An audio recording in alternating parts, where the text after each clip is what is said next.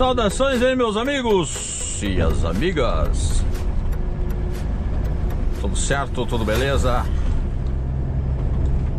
Vamos lá para mais um episódio. Até então para registrar, né? Onde estamos passando.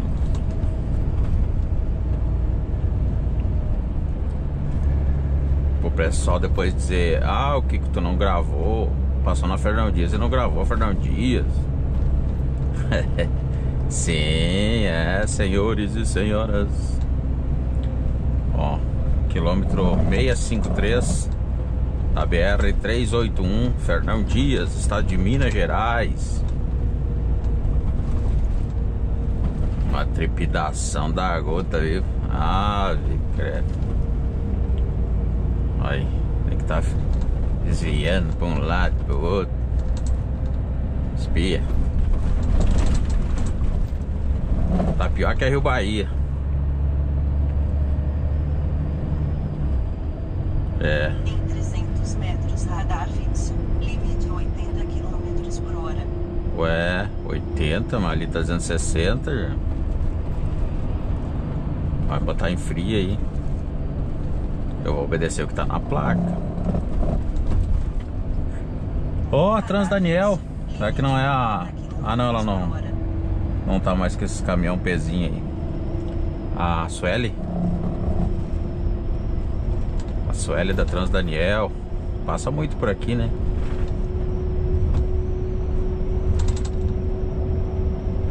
Sueli tá junto com o Jacomelli. Estão namorando. Ah, aí ó, a Trans Daniel, Sueli, ó. Tá vendo? Estamos aqui na tua região, região mineira.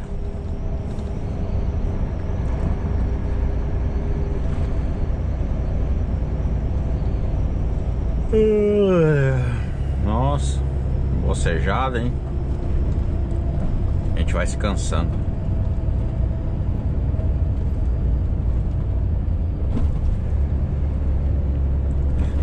Então, para registrar, né?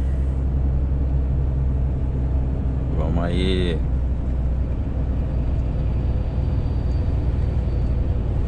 Fazendo também alguns comentários de tudo que acontecer aí.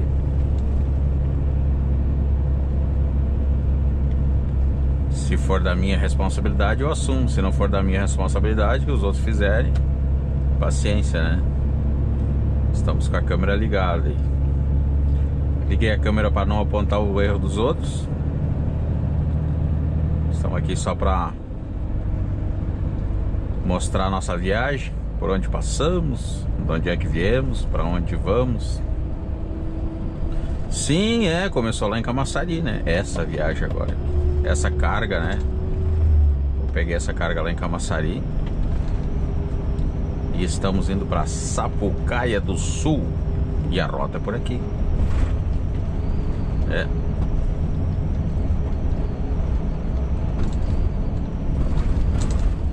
Ó, pedágio a 2 quilômetros.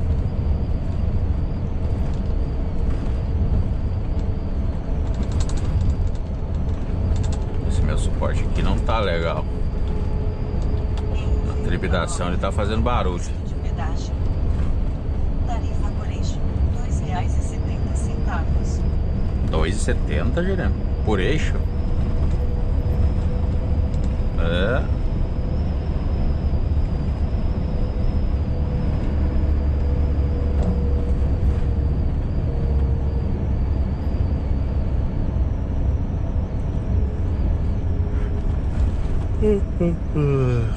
Nossa, bobeira que deu.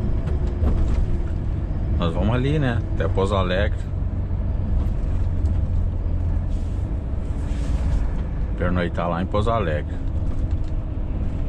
Ó, mais um do Daniel aí. Mais outro. Ô, oh, frota toda. Ah, me credo.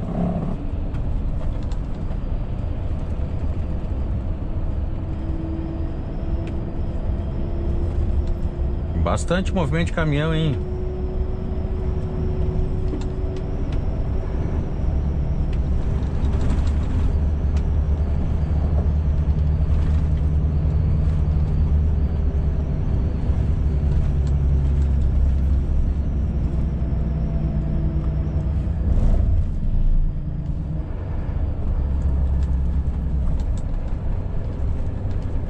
Uma cabine sobrando aqui, eles não viram. Ó, agora que o cara viu, se atravessou. Espia.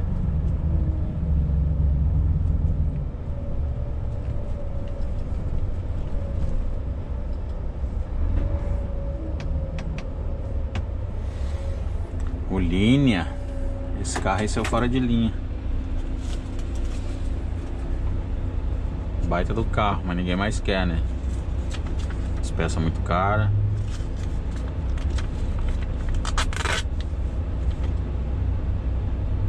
Santo Antônio do Amparo. R$ 16,20.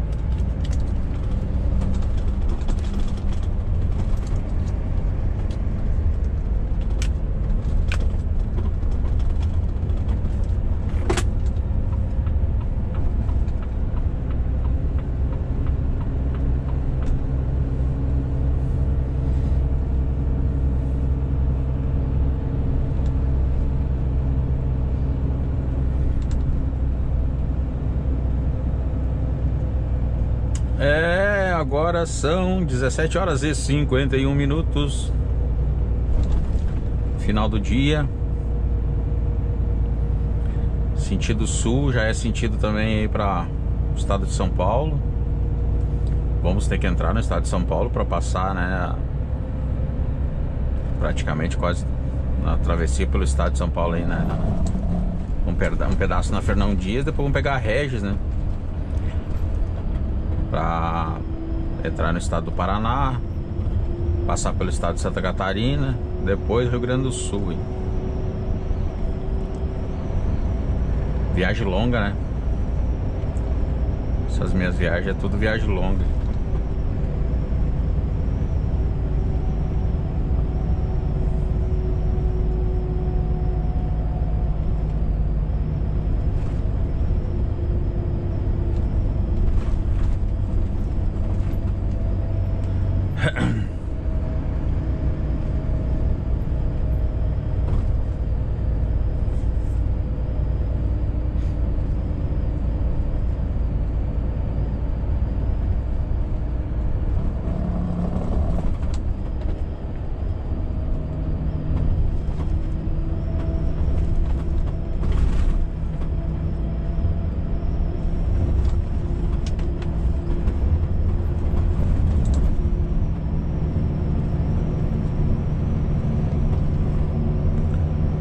Viu? Mas assim, ó, comentário agora aqui.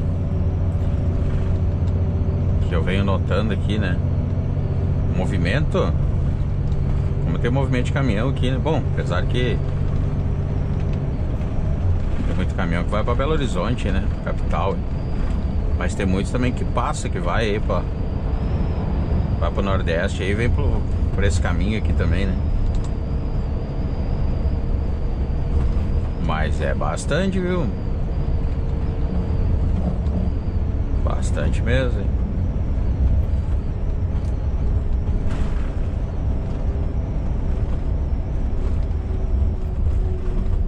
Saída 662, Santana do Jacaré. Ah, é perigoso. Jacaré.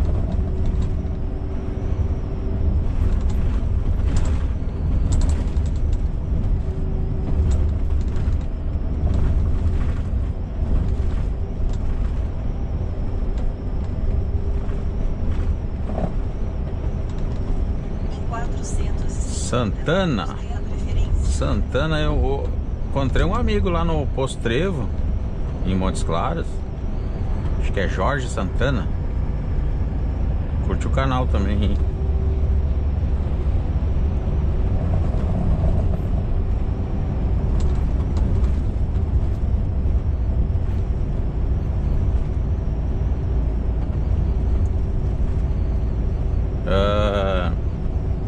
Eu passei aquele trecho também, falando em Montes, Montes Claros, né? Passei aquele trecho de, de Montes Claros até Corinto, Curvelo, ali, aquele trecho de noite, né? E aí o pessoal vai dizer, ah, por que, que não gravou? Que Bocaiúva, Buenópolis, essa região. Isso aí de noite, né? Aí não, não tem como como gravar e ficar só estrada e farol e, e o painel e, nada mais. E... Não ia ficar legal, né? Aí deixamos pra Pra gravar mais pra cá, né? Mais durante o dia, claro.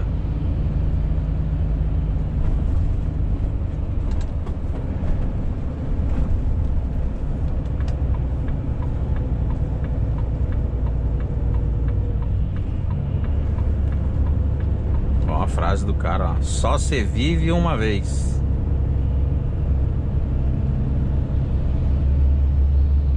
Verdade. Aproveita a vida. Que depois que morreu você não consegue aproveitar mais. Aí não aproveita mais. É, verdade. É que nem aquele que falou lá. O, o café, quando eu tomo café, me tira o sono. E eu já sou o contrário. Quando eu tô dormindo, não consigo tomar café. É.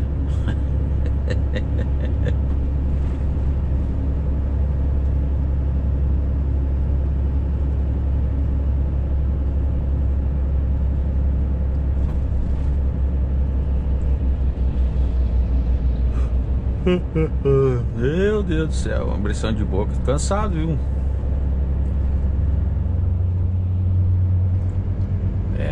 É, o dia a dia da gente aí, ó. O pessoal fica acompanhando, né? Os episódios. E chega num determinado horário do dia e canseira vai batendo, vontade de já parar, descansar.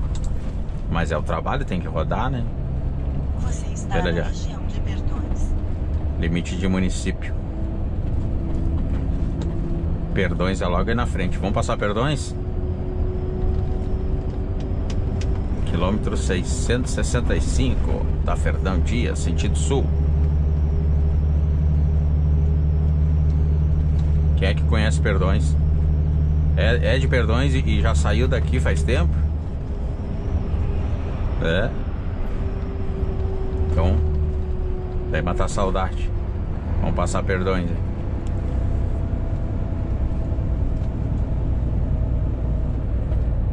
E os busão, Gilmar? Olha, cada busão, um busão, né? Como dizem os ônibus.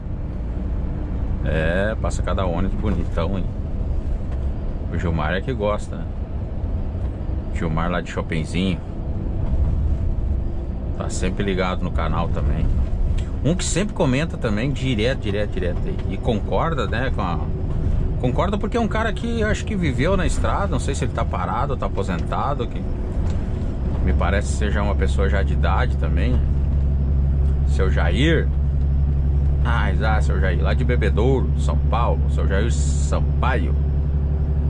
Sempre comenta aí, né, no canal aí. E acredito que seja um cara que já viajou nessas estradas, né? Conhece, sabe como é que é essa vida aí. Eu às vezes tenho vontade de parar, sabe? Façam a conta aí. Na estrada mesmo de 89 pra cá, né? Mas em 80 e... Em 86... 1986 foi quando eu tirei a carteira conseguia né, a habilitação né, para para dirigir. Antes de entrar no exército eu estava habilitado. Aí entrei no exército e já fui mexer com caminhão. Em 87.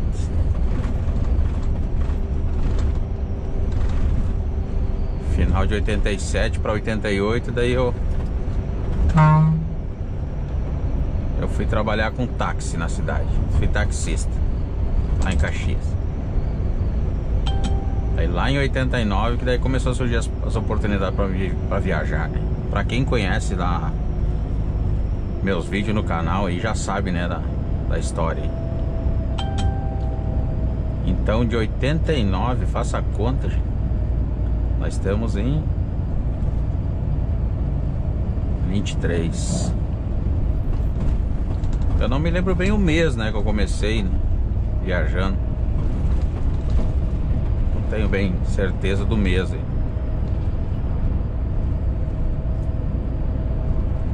Mas fazendo a conta de 89 para 2023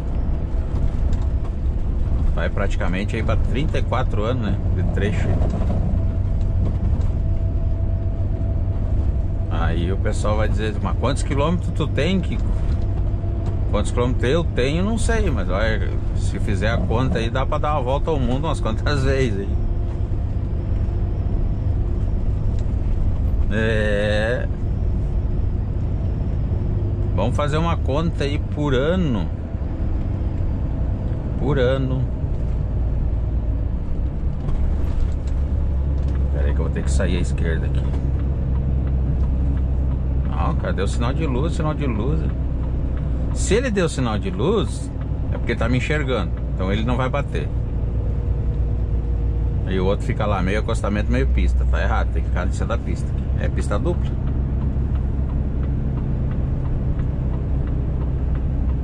Quando o cara vem dando sinal assim, é, ele pode até ficar bravo, vai buzinar, xingar. Ele tava longe.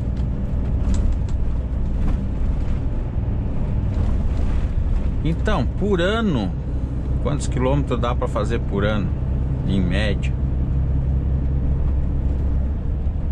Uma vez eu fiz um cálculo, dava mais ou menos uns 120. 120 a 130 mil quilômetros por ano.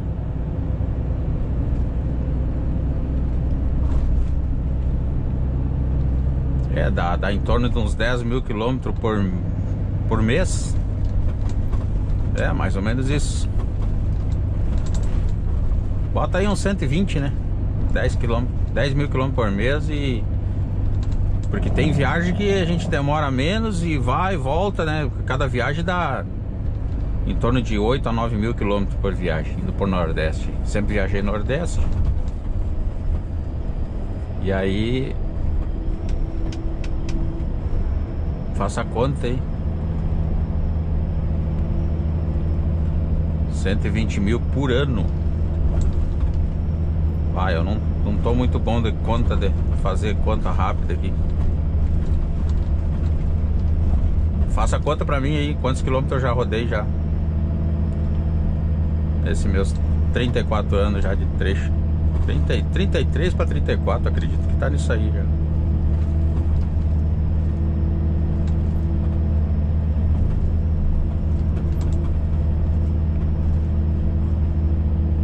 For contar os tempos parados também que eu fiquei. Acho que só quando fiz cirurgia, né? Tempo parado. Na época que era funcionário, tirava férias, né? 30 dias. Hein?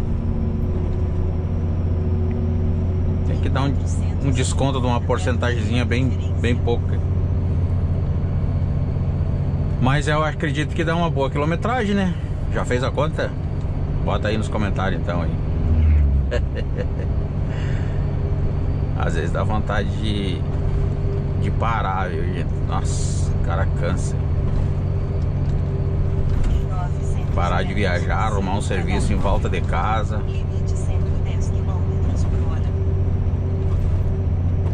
Mexer com um caminhãozinho menor, um caminhãozinho pequeno, fazendo os fretezinhos na volta ali. Ganhar só para encher os potinhos. Só para encher a, a, a, dispensa. Fazer o dinheirinho da feira já era. Vocês sabem por quê? Porque daqui a gente não leva nada. Não leva nada mesmo. E depois que morre, o que tu constrói fica pros outros brigar ainda. Ó, oh, 65 anos numa carretinha dois eixos. A esquetada.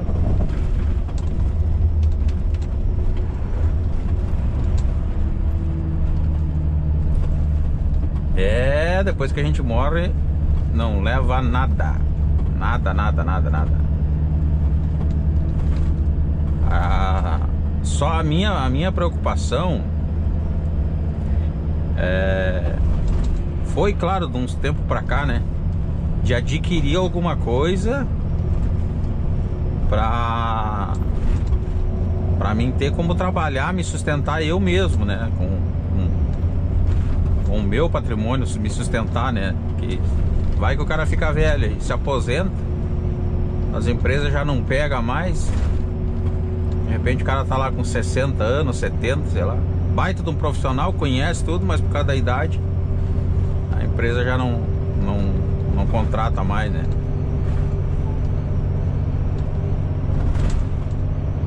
Até então o cara aposentado, certo é ficar mesmo, aposentou, descansa, né? Dá um espaço para quem precisa trabalhar, na verdade. Molecada nova aí que também precisa trabalhar, precisa de uma oportunidade. Molecada nova que eu digo os mais novos, né? Curizada nova. Quer entrar no ramo. Mas para quem gosta do que faz, depois que se aposenta, deixa de fazer, né, o que tava, sempre fez, capaz de entrar até numa depressão, né? Até a vida perde sentido, né, das coisas.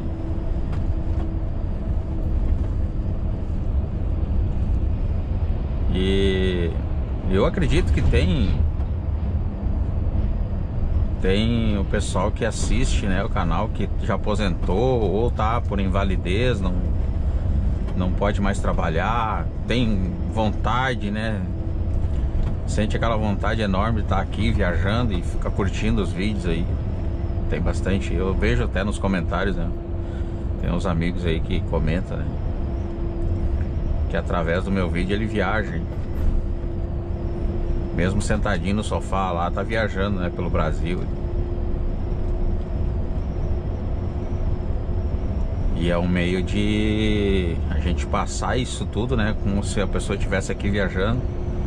É um meio de tirar aquele, aqueles pensamentos ruins né, da cabeça dessas pessoas que ficam com depressão, já salvei alguns aí da depressão. Pode deixar também no relato aí, pode comentar, hein? Tinha uns que tinham um problema de insônia, hoje dorme, né? Assistindo vídeo. é, se acorda só com a buzina no final, né? As marítimas. É.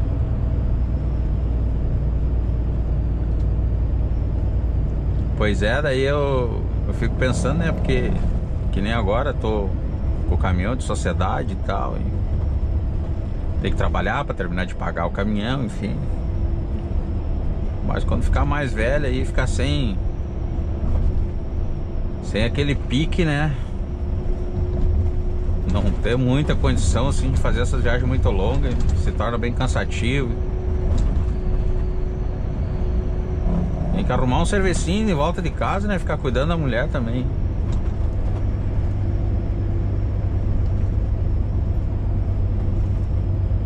Sábado, domingo em casa. É, parece que eu tô ouvindo. Não, que não para não. E quem é que vai fazer os vídeos? Pois é, mas vai chegar uma época que que isso tudo chega num, num ponto final, né? Tudo tem um início, meio e fim, né? A gente ainda tá no meio. Fez o início. E estamos aqui pedalando, né? Estamos no meio. Fim ainda não, não deu ar da graça ainda.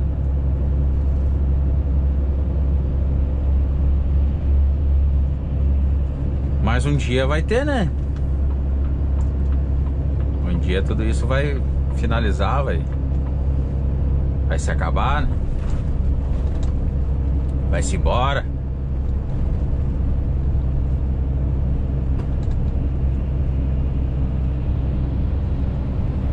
Um dia eu também vou partir, né? Assim como os nossos avós se foram, os nossos pais, muitos, né, que não tem mais os avós, os pais. Por causa da idade foram indo, então é o ciclo da vida, né? E um dia esse dia, um dia esse dia vai chegar para mim também, né? Para mim, para minha esposa, enfim, né, para todo mundo, né? Eu só espero que não seja trágico, né? Só espero que não seja um fim trágico, né? Espero que seja um fim digno. É como se fosse assim uma tecla, né? Clicou na tecla, ele apagou, escureceu tudo, foi, acabou, deu pra ti. poderoso Deus diz assim: Ó, Kiko, deu. Teu ciclo de vida encerra aqui. Tô desligando a tua tecla. E simplesmente tudo apaga, né? Acabou o espetáculo.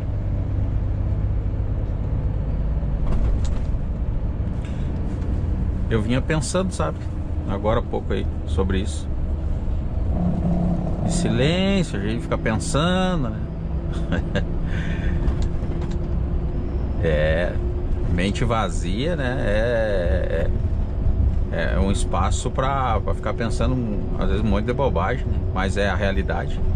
Tem umas bobagens que a gente diz que é bobagem que a gente pensa, mas é a realidade. Eu fico imaginando assim que se. Falando sério agora, não é. Não é brincadeira não. Uh, se tipo assim dá um infarte, né? Infarte fulminante. Escureceu as vistas e apagar e deu. Né? Será que é a mesma coisa que nem acontece quando dão aquela anestesia geral? Quem que tomou anestesia geral? Eu já tomei injeção, já tomei anestesia geral três vezes duas da cirurgia da da coluna e eu também tinha um, uma hernia no imbigo também tirei uma hernia no imbigo o homem cheio de hernia, tá louco às vezes é de fazer força mal distribuída, né gente? hernia no imbigo é força mal distribuída hernia na coluna também, né isso é sinal, sabe o que que é? trabalhar Sempre trabalhei, comecei novo, comecei menino ainda, trabalhando. Meu tempo que eu comecei a trabalhar não tinha esse negócio de. De. como é que é?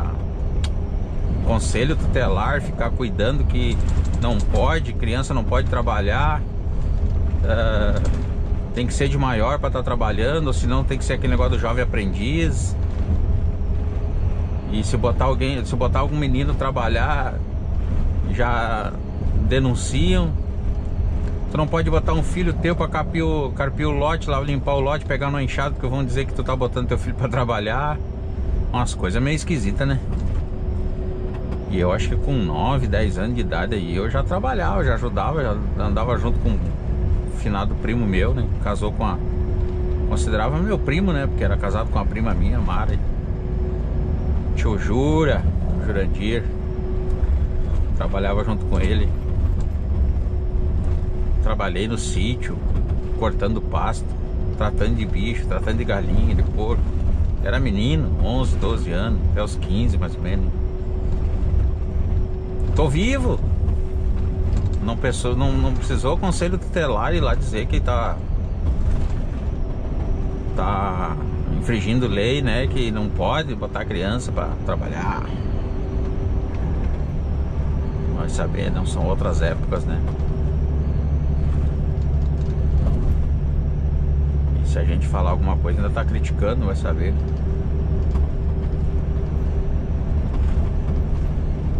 Mas o espaço que sobra pra essa piazada aí hoje em dia é internet, né? Joguinho, é Free Fire, é é, disputa de, de, de, jogo, né? Na, na, online, na internet. Não precisa mais, as crianças não, não, não se compram mais brinquedo, carrinho, boneca, essas coisas. Não, eles querem um celular, eles querem um tablet, eles querem estar conectado. É um fone de ouvido top, é. É umas coisas assim bem coisadas. Mas não adianta, né? Como eu disse, é o ciclo da vida. Oh, pedindo pra. Ó, se assustou. Os caras pedindo fazer quebra de asa. Eu dou um quebra de asa aqui, ó. Tá, e o caminhão dá aquela deitada. Já pensou? Coisa mais linda. Aí cai na rede social e Kiko quase tomba o caminhão. Fiasco, né? Vai aonde, né, Chico? Aí, ó.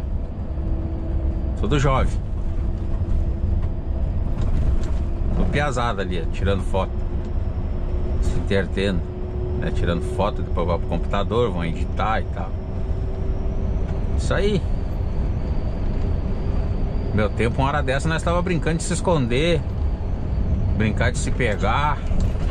Corria um do outro, jogando bola. Brincar na chuva.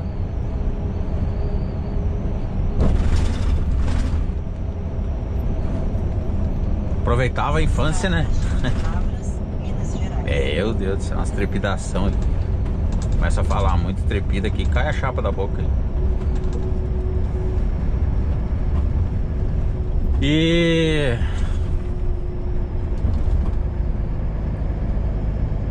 como eu tava dizendo, né? Trabalhei, aproveitei também a infância, brincava e fizemos de tudo um pouco, né?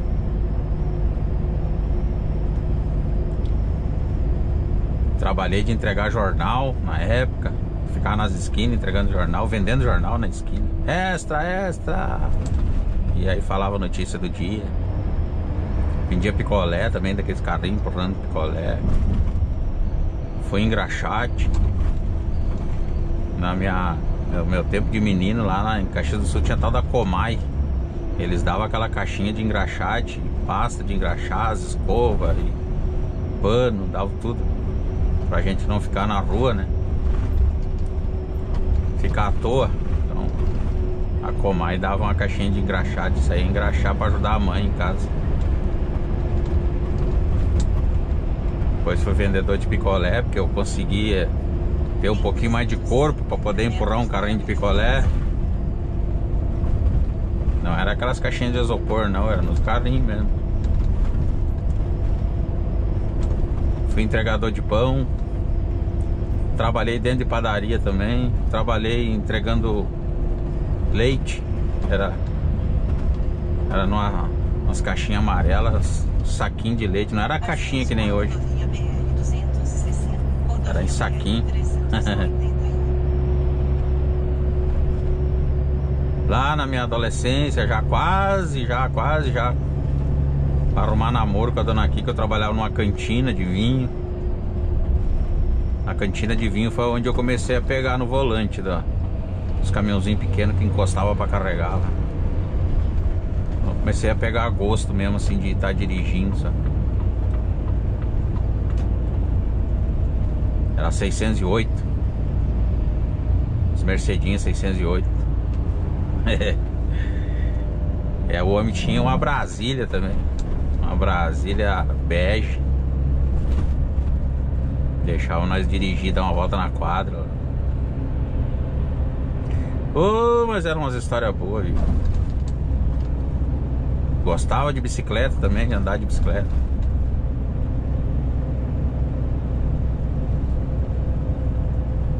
E aí quando vem, né, dá essas retrospectivas assim, né? A gente viajando fica pensando, né, lá, dá umas. Leva os pensamentos da gente lá na infância. E vê hoje, né? O cabelo branco já. E aí fica pensando, tipo, vou durar até quando? Será? Quando é que vai ser o ciclo, né? O final do ciclo da minha vida, né? Como é que vai ser, né? E eu vejo assim, ó, pessoal, que a partir da meia idade pra frente, tu fez, fez. O que tu não fez, acho que meio difícil fazer mais, sabe? E se tu fizer alguma coisa, faça para se manter. Dando para se manter, manter a casa. Tu tem um compromisso de ter uma casa, ter uma esposa, né? Tem teus caprichos, porque os filhos já vão estar tá criados mesmo. Aí já tá de bom tamanho. Você manter a casa, água, luz, telefone a, e, a, e a boia, né? A comida. Tá bom demais.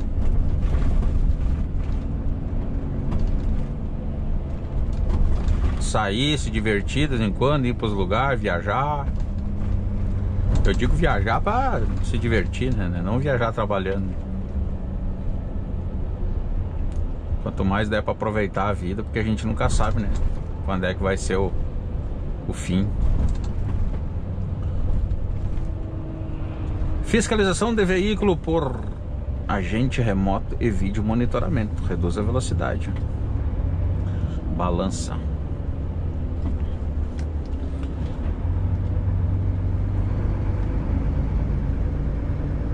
Veículos pesados. Pesagem obrigatória. Quando tumultua demais ali, eles jogam para fora. Vamos ver o que, que vai dar aqui. Fechada?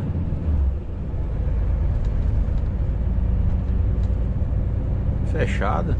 Olha, tá jogando para fora. Fechou. Mas tem uns que estão presos ali. Ó. Quantidade de caminhão, hein? Acho que lotou o pátio já liberaram a balança para os outros passar. Se tiver excesso tem que tirar. Se tiver o peso mal distribuído tem que mexer. Se ir embora pagar multa. Tem a câmera que multa. Mesmo vazio, você tem que passar na balança. Kiko, se estiver vazio, tem que passar na balança também? Tem, tem que passar na balança. Aí a flechinha vai mostrar se vai. Já te joga pra fora, se tá vazio, né? Mas tem que passar. Se passar por fora, como é que eles vão saber se tá com cargo ou não? Tipo que nem eu, tô caminhão, é um baú, é fechado. Lá no sensor e a, e a câmera, ela vai enxergar o caminhão todo fechado, não sabe se tá carregado ou não. E se tá vazio, você pode ficar tranquilo que você não vai tomar multa, não vai. Passa na balança. Se tiver dentro do peso padrão também, né? Por que, que vai embora?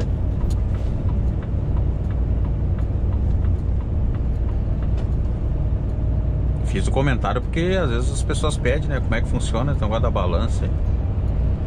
E a multa vai para quem? Para a empresa, para o embarcador. Se botar excesso. Dá ponto na carteira? Que eu saiba, não. Ponto na carteira, não. Opa, segura, segura, segura aí. Não entra não. Não entra não, não entra não.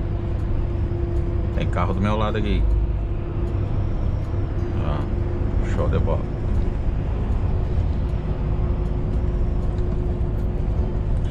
Então tá, né, pessoal? E era isso. Vamos seguindo a viagem aqui. Deu uns minutos bacana aí, né? Pra depois finalizar o vídeo. E vamos que vamos, hein? rodovia BR-265. Rodovia BR-308 em 350 metros dê a preferência. Ah, não tinha o viaduto uma vez, ela tá falando do cruzamento, ó. De uma BR com a outra. Beleza, então? Show de bola! Quando finalizar o ciclo da vida, né? De cada um de vocês. Espero que feche um ciclo da vida aí só naquele apagar da vela, né? Apagar da luz, apagar do candeeiro. Pagou, foi, cerrou. Que não seja sofrido. O meu também, né? Espero que seja. E se eu morrer tão logo, né? Que é o ciclo da vida que se acabar, espero que você compareça lá, pelo menos, né? No meu velório. Será que vai? Será que vai ter bastante gente? Olha as conversas. Quando eu morrer, será que no meu velório vai ter bastante gente? mas eu fico pensando, né? Quantidade de amigos que a gente tem aí.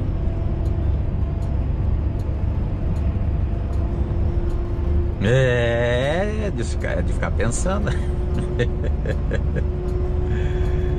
Dá risada, mas é verdade. Vamos que vamos então. Carmo da Cachoeira, 30 km, está para frente. São Paulo, 356 km. E nós vamos que vamos. Uma paz divina. Ciclo da vida extenso ainda por muito tempo. Prometo que permaneça até que tenha força aqui, né? Acompanhando vocês aqui no canal. Não se desespere, não entre em pânico. Nós vamos estar aqui amanhã, com certeza, no mesmo horário. Se eu não tiver, é porque as cortinas se fecharam. A tecla foi ligada. Encerrou o ciclo da vida. Valeu, um abraço, tchau, fui.